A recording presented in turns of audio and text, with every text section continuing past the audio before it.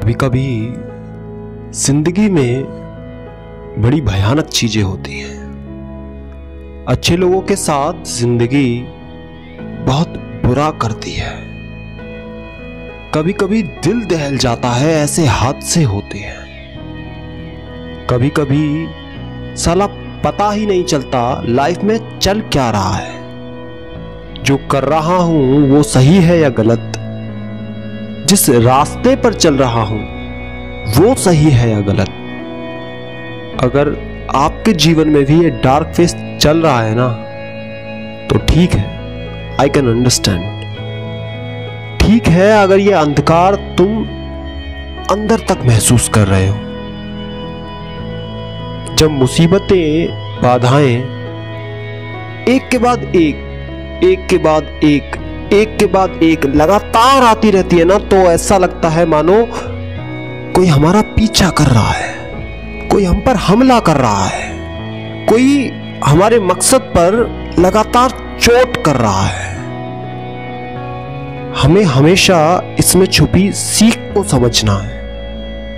जो होना है, वो तो होना ही है। अब सवाल ये है, या तो हंस हंस कर या फिर रो रो कर।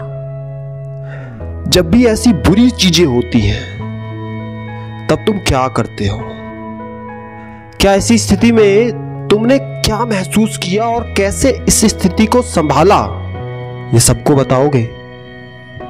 क्या तुम एक बार गिर गए तो गिरे रहोगे? क्या तुम इस स्थिति का सामना पूरे साहस के साथ करोगे, संकल्प के साथ? आज हर तरफ़ अंधकार है। उसे एक्सेप्ट करो यार, कि ये बुरा फेस है। भागो मत, भाग लो।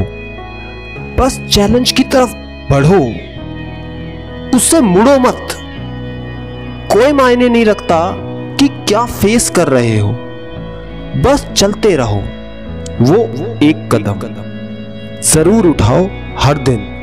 कैसा महसूस कर रहे हो डजेंट मैटर बस उठो और चल पड़ो। वो एक कदम।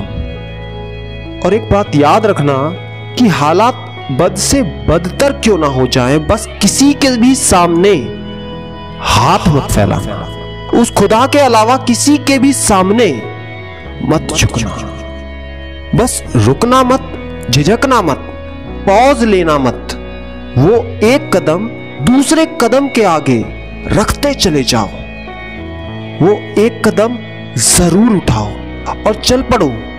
मेरे साथ, हम दोनों साथ मिलकर आगे बढ़ेंगे और साथ लड़ेंगे इस लड़ाई को और जीतेंगे भी हम ही। चाहे मंजिल मिले या ना मिले, राह मिले या ना मिले, लेकिन जीतेंगे हम ही। पता है क्यों? क्योंकि हमारी रूह कभी भी सरेंडर नहीं करेगी और यही असली जीत है।